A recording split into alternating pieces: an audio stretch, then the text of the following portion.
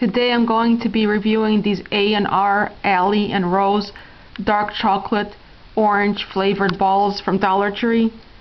It says fruity bite-sized bliss on them and they look like this. They're dark chocolate and they have like an orange gel in the middle. They're not just like chocolate, orange chocolate flavored. They have a gel uh, in the middle and the gel is just a little chewy. It's not too bad.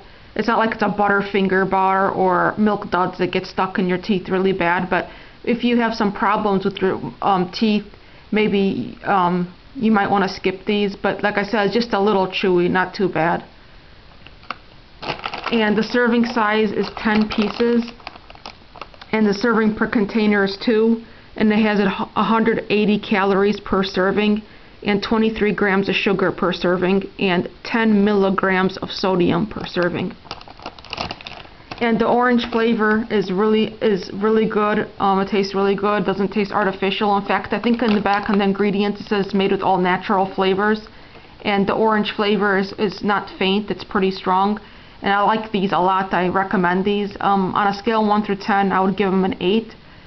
The only reason I don't give them a 9 is because um, the the orange gel in the middle is just a little too chewy for me. Otherwise, I would have gave it a 9, but I still give it a really high score of an 8. So I really recommend these. Like I said, I got these from the Dollar Tree. Thanks for watching. Bye.